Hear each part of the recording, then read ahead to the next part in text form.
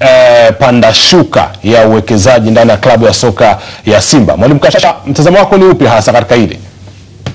Tanzania likiwa linabebwa na klabu mbili kubwa kongwe Simba na Yanga zimekuwa na historia mbaya ya migogoro isiyokwisha. Kwenye swala zima la uwekezaji limekuwa ni tatizo.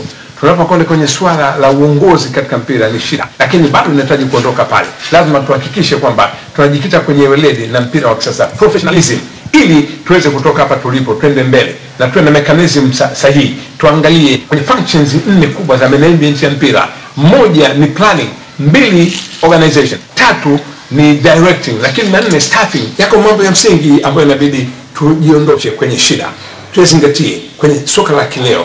Kwanza kuna swala zima la sponsorship, ni mtu anafadhili na ndio wawekezaji wanakuja. Lakini la pili, financial management, lazima tukubali kuhusika mzuri katika weledi wa kutunza fedha na kusimamia fedha za vilabu kwa njia yoyote ile kutoka kwenye vyanzo mbalimbali. Lakini jingine, kuna operation plan, tupange mikakati namna ya kutekeleza mipango mbalimbali tunaipanga. Lakini pia kuna swala zima risk management, na baadaye ya mwisho twende kwenye contract programs ambapo na bilateral na lateral. Bilateral contract ni mikataba ambayo wachezaji wanakuwa wanaingia kwa sababu ya ahadi mbalimbali hapa na pale.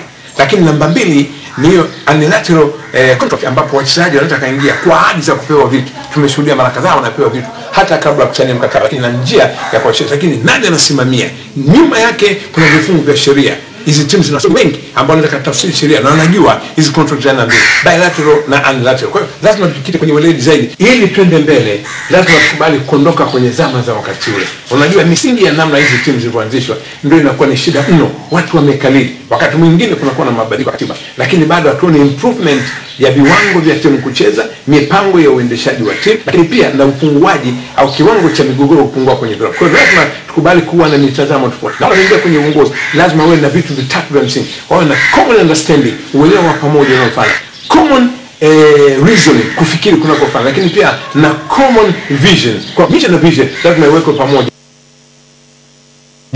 Usiache kusubscribe katika akaunti yetu ya YouTube channel na kisha bonyeza alama ya kengele ili uwe wa kwanza kupata kila aina ya matukio mbalimbali iwe ya ndani au ya nje kutokea hapa hapa Jamvi Online TV.